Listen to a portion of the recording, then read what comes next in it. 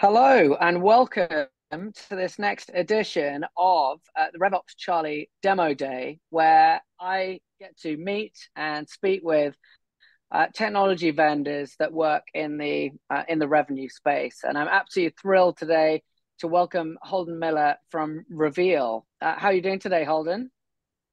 Doing well, Charlie. Thanks for having me. Appreciate it. Thank you so much. Um, so today we're going to be talking about uh, partnership, and I think as uh, as Reveal call it, nearbound. So perhaps you'd like to just take a couple of minutes and just maybe introduce yourself and your role, uh, and a little bit about Reveal. Yeah, absolutely, Charlie. So. Um, my name's Holden Miller. I'm our global account executive, uh, focused primarily in North America. Um, in terms of Reveal, um, we're a really hot startup right now that's doing um, a lot of impressive work with what we call nearbound. Essentially, the easiest way to think of nearbound is it's another go to market notion where we've understood that outbound technology is getting stale. Inbound still works, you know, sufficiently well, but nearbound is the way to the future. How do we leverage relationships, the partnerships that our teams have already put together and show sales, marketing, customer success, the different avenues that they can go close, retain, and market to those accounts. Mm. And I think, I mean, uh, I might look 12 years old, but I started in um, in sales in '99, and um, back then it was all partners because there were so many company tech companies had come out of the Cisco ecosystem or the Microsoft ecosystem, and because back then you were shipping a CD around, um, you had to use partners, local partners, and then I think cloud went quite direct. Salesforce is very much a direct model. I'm definitely seeing that it's swinging back the other way because there's just so many vendors that mm. as a as a buyer you you have to rely on someone else to give you a little bit of a, a steer in which direction to go. Absolutely. No, and I think it is coming back around. And I think the biggest issue previously was you know everybody was inundated with new technology and selling in quick manners um, account based marketing for example. And i think as time went on sales reps started to view partnerships as a potential threat you know to their quota to how they go, um, go about their book of business. But now we're showing them that it's actually extremely beneficial and helps them get their job done. Mm. so so when you think about your your target customer your ideal customer profile what what type of uh, of business is um, is is a great fit for Reveal? Honestly, all um, as long as they have a decent notion or um, motion, I should say, um, around partnerships. Um, currently, a lot of our customers are, you know, um, tech based, HR based, um, but we're branching into the life sciences and many other industries as well. The main premise is understanding if they have a channel or partnership notion within their mm, company. Yeah, do, do you find that they need to have um, they kind of got to have a partner program up and running or that reveal can be that kind of launch pad for for spinning this kind of thing up both um, you know we do help a, a, decent amount of our clients essentially get into a software like a reveal and start showing them the beauty of automating account mapping but mm-hmm. also we have an extensive network of clients already on our network so it makes it easy for people to use reveal see who's out mm-hmm. there who they can connect with, kind of like a LinkedIn format. And then from yeah. there, they can understand the ROI per partner as they go through mm. the journey with us. Yeah. So are you able to dig into that a bit more? So like as a, uh, okay, let's say I've, I've got an early stage partner program and at the moment we're managing it all on Google Sheets and we're trying to, you know, collaborate with, with our, our partners. Um, what's the value of me doing it through a system yeah. Well, in today's world, everybody's concerned about security. So first and foremost, you know, passing that data, client sensitive information back and forth via email or an Excel sheet, it's a mm-hmm. risk. So yeah. immediately helping with that. But also we're just giving people time back to their day. You know, nobody enjoys account mapping, digging through Excel and trying to find low-hanging fruit. We can mm-hmm. just surface that to them and allow them to really work on their relationships, their partnerships, mm-hmm. that really defeats the battle there. Yeah, yeah. And and who is that person? What's that persona? What's that role that you speak to in a in a yeah. company mainly? Um, so typically, you know, a lot of people think we only speak to partnership folks. Uh, you know, a good majority of our buyers or our influencers are the partnership team. However, mm. with nearbound concept and how we're taking this to a go-to-market approach, now we have a lot of the buyers typically being VPs of sales, VPs of mm. customer mm. success, marketing, and even in a few use cases, product. Mm. You know, mm. taking our data and being able to evolutionize their current tech stack and their product and the way they offer their services to their clients as well. Yeah. It's um I mean like the definition of a partner is so so loose as well. Like it was having a look on um uh, G2's buyer behavior report. Um, I don't think they have the stat in this year's one, but in last year's one, they looked at the percentage of um, uh, software purchases that were done through some form of partner, and it was 40%. So 60% is direct from the vendor, yeah. Then 40% was through a partner, of which like 30% was uh, a marketplace like an AWS or a Google Cloud, and then 10% was was VARs, a value added resellers. And so I was thinking, okay, right, so 40% comes through through partners. But then I thought, hang on, that's missing a big amount of partners, which is influencers, consultants, uh, technology partners, uh, mm-hmm. in, integrators, uh, all these other people that are part of that partnership conversation, but it's not necessarily a, a commercial resale. Yeah. No, and that's fair. I mean, and the biggest issue, which it sounds like right there, especially, is attribution. How do people get the credit for, you know, the little or the extensive work that they're putting forth? So we do help with our reporting, make sure attribution's there. Um, and also what we try to pitch our clients and any of our users is you know, partnerships has historically, to your point, been a big part of sales. Mm. What we need to include now is maybe have a third of it be outbound, a third of it be inbound, and another third of it be near bound, making sure partnerships is there as that nucleus. Yeah. And um and when you think about talked a little bit about the value of it to a customer and i think there were uh, there are a few stats that saw on your website which i which definitely resonates with me because we used to talk about this in a company I used to work with, where an AE get a partner involved, will be bigger, close consistently, a higher conversion rate, um, and they'll close faster. And mm-hmm. um, uh, and definitely was was seeing that that if you go alone as a as a vendor, more likely you you might win your your deal, but it's likely to be smaller. It's likely to close less successfully. Um, and so, h- how do you see this type of conversation coming up with the with the buyers that you're speaking with? Are they able to put a, a, a number on that and start to think about the economic value of treating partnerships more strategically? Yeah, and I, I think it comes down to also, you know, how historically they've worked with partners too, because you mm. don't want to just flip the switch on them. AEs naturally follow their own tendencies. So how do we mm. kind of blend the two?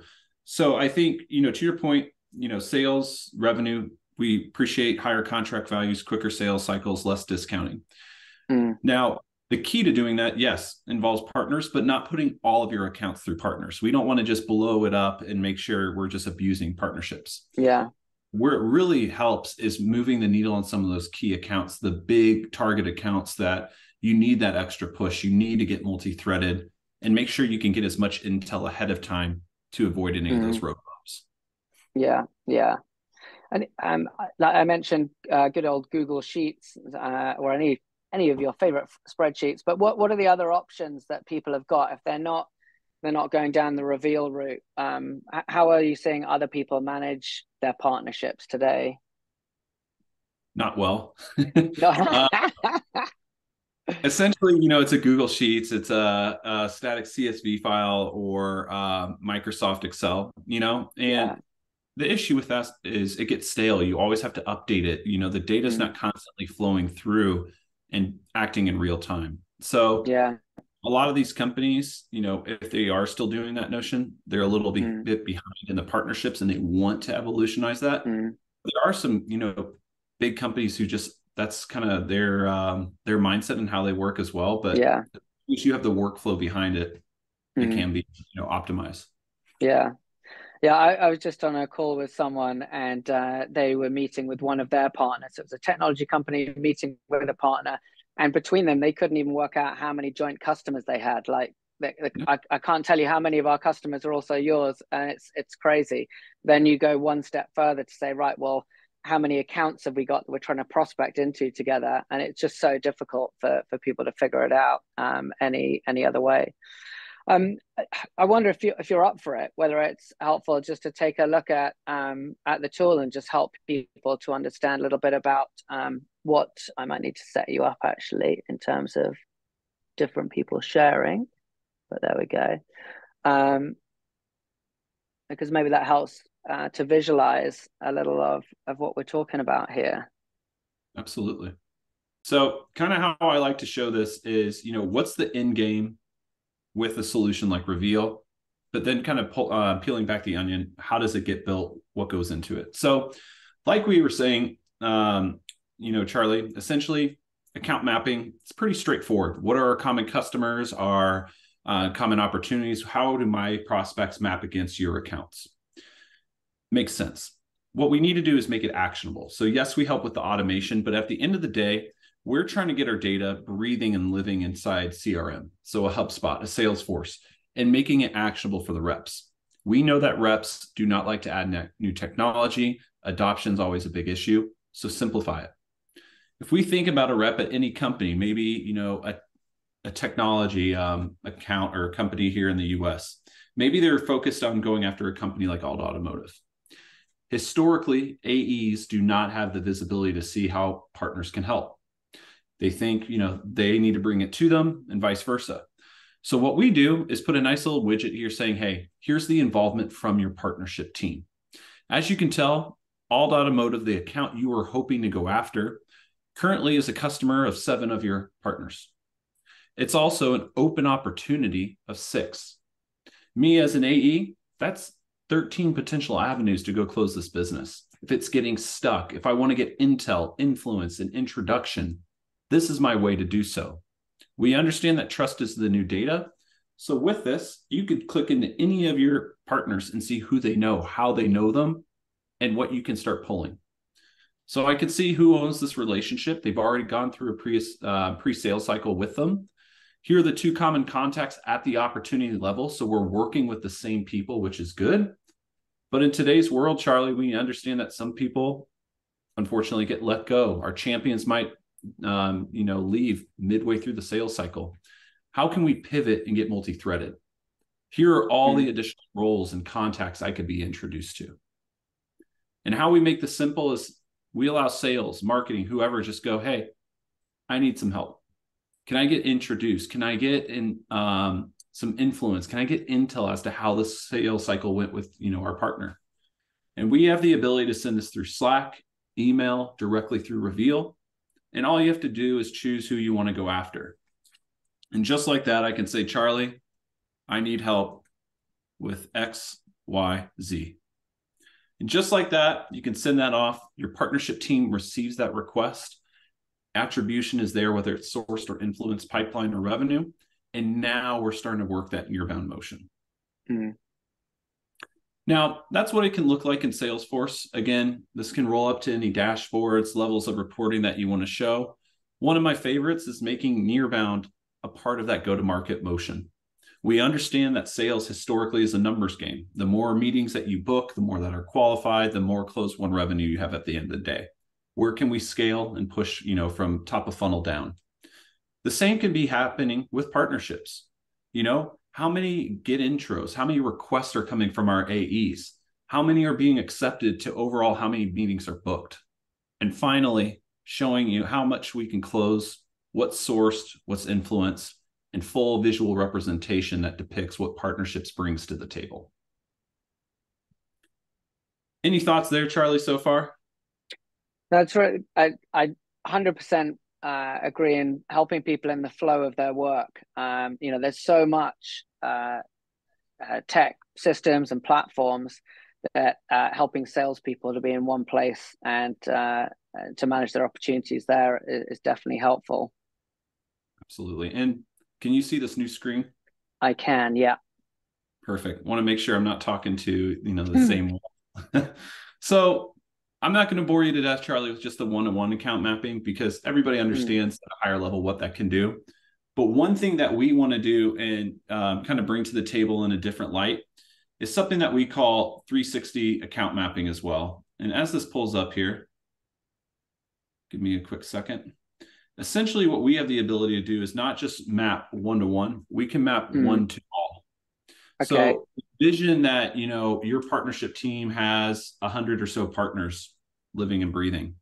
You know what we can do here, get this apple out of the way, It's essentially get um, the involvement from sales, marketing, and customer success. Many different use cases can come out of this data.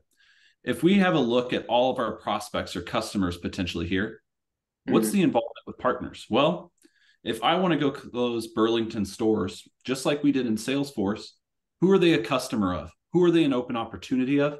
And how can I stack rank or prioritize this? Mm. So if you think of use cases, sales can pull up their pitch or their patch for the particular AE and say, hey, here's your top 10 deals that you need to work through partnerships. Marketing can come in and understand the lay of the land. Who do we need to focus on doing webinars, case studies, um, you know, marketing collateral with? And then customer success can start looking at integrations. Who are people mm-hmm. renewing with based off their tech stack? Is it a high churn rate? Is it a successful renewal? Where do we need to step in and allow partners to use that relationship? So again, just an easy, um, easy to use representation.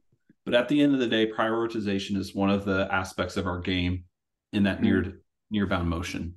Who to focus on, how to go after them, and how do partners help you get there.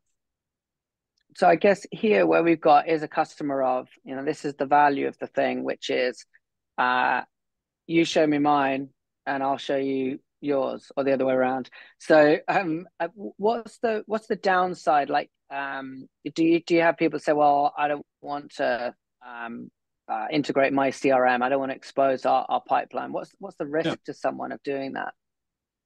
So we have the ability per partner you can deem what you want to share and what um, and deem kind of what's best fit in that regard you can lock down accounts you know we have a lot of people who share data with their competitors mm. but they lock down certain criteria. They might want to work on maybe one type of product that they want to co-sell against. Mm. But at the end of the day, we are, you know, um, fully compliant, so we're not sharing context sensitive information. Um, but the other avenue that we have is essentially if you don't want to connect your CRM, maybe you have a year long InfoSec review, you can do offline account mapping. So Excel sheets, mm. CSV files, and map it out against your partners all at the same. Mm. Yeah, and I think certainly in my experience, people are doing this. They're just doing it offline. So it's just about having some uh, some some control over it. Uh, and then I the uh, the second part to that question, I guess, is um, is this typically relatively small companies uh, sharing with relatively small companies, or are you starting to see the Salesforces, the Microsofts, the the Cisco's getting involved with this as well and, helping their um, downstream partners to be able to to peer? Um, honestly, you're seeing it everywhere. We have small mom and pop shops with you know a partnership team of one, um, where they do 60% of the revenue based off partnerships. We have companies that are very large, you know, similar to the ones that you mentioned earlier, that use this with you know other big distributors. They use them with smaller companies.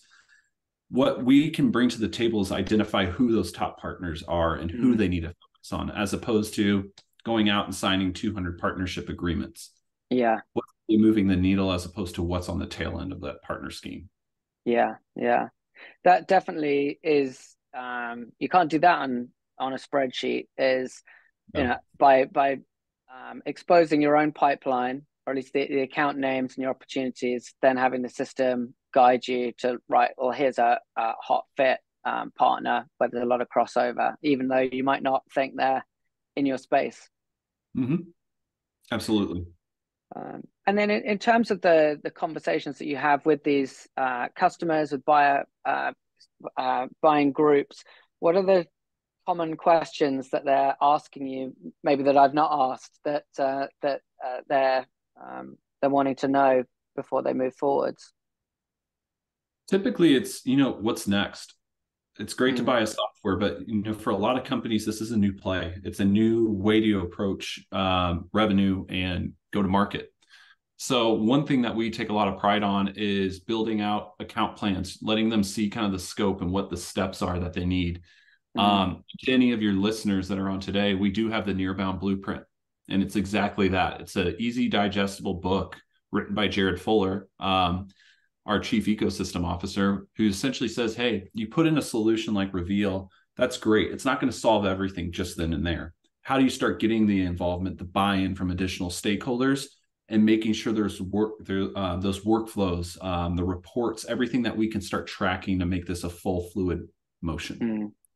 So um, typically it's the what's next and then you know people are also always curious you know what others have seen in terms of success rates um, and then everybody's favorite question is always what's pricing as well yeah yeah and I, I, while we won't be able to get into individual pricing but what's the what's the structure how how is it licensed so we're a typical SaaS-based model. So we don't believe in nickel and diming on every single thing. Um, maybe like some of our competitors at times. We really want to focus on, you know, who's getting their eyes on the data. So what I like to say mm-hmm. is, uh, you know, seats. We um, have two packages: one the Pro, one the Power. And the biggest difference is essentially, do you want to integrate this to your overall tech stack, or are you just trying to do some of the more elementary, introductory stuff to start out with, and then go mm. to that full blown near bound summit. Brilliant. And then I guess just in wrapping up, Holden, what's uh, what's the best way for people to get in touch with Reveal or with yourself or find out more about that um, uh, that ebook or, or, notebook that you mentioned? Yeah, visit nearbound.com. It's our um, new rebranded website. Um, it's got all the information, all of our blogs, our case studies. It's got great podcasts and just overall great material. So we're not just trying to sell we want to educate because this is a project a new category that's going to you know really move um, a lot of companies forward in the future. So mm-hmm. we want to help paint that education get the framework going and then be that tool that asset to help along the way. That's brilliant. Well thanks holden so much for for joining us and for spreading the nearbound uh, word uh, the message. And uh, I'm sure people will look forward to getting in touch with Reveal and with yourself and uh, and and building out their own partner program. So thank you for joining. Appreciate the time, Charlie. Thank you.